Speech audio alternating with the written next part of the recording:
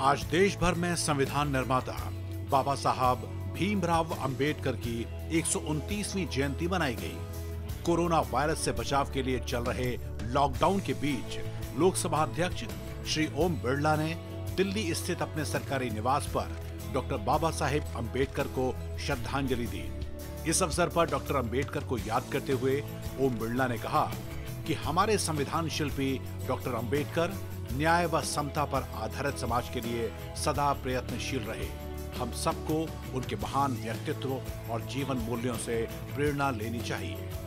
भारतीय संविधान के शिल्पकार, लेखक, दार्शनिक, अर्थशास्त्री, समाजशास्त्री, दलित, वंचितों के उद्धारक, भारत रत्न डॉक्टर भीमराव अंबेडकर की एक जयंती पर हम सब उनको नमन करते हैं।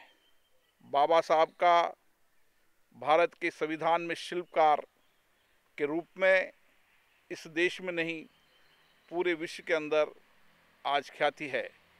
हम सब बाबा साहब की जयंती पर उनके आदर्श और विचारों को जन जन तक पहुंचाएँ, इसका हमें आज संकल्प लेना है।